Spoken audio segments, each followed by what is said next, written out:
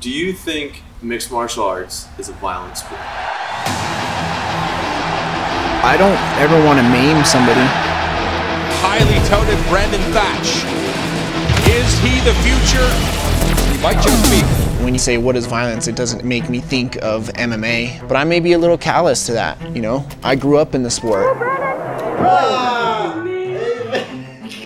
to be a doctor. I bought him all those little lab thingies and trying to get him interested in it, and he wasn't going for it. Brandon was always a fighter. He was trying to tell me that from day one. He was trained since he could walk.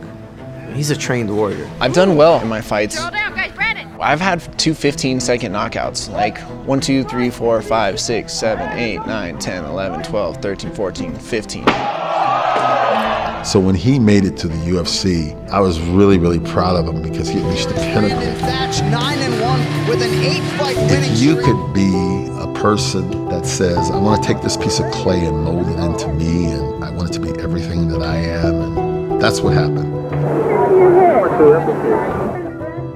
I don't know what it means to be a man. That one's hard.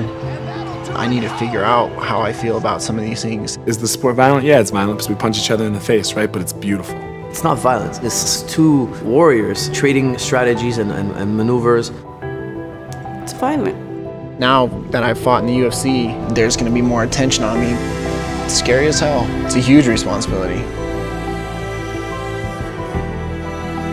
A huge piece of me is fighting. I don't know what I would be able to do without fighting. I, I, I would panic.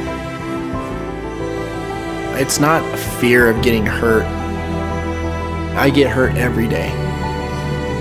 I'm scared of the end result when I lose.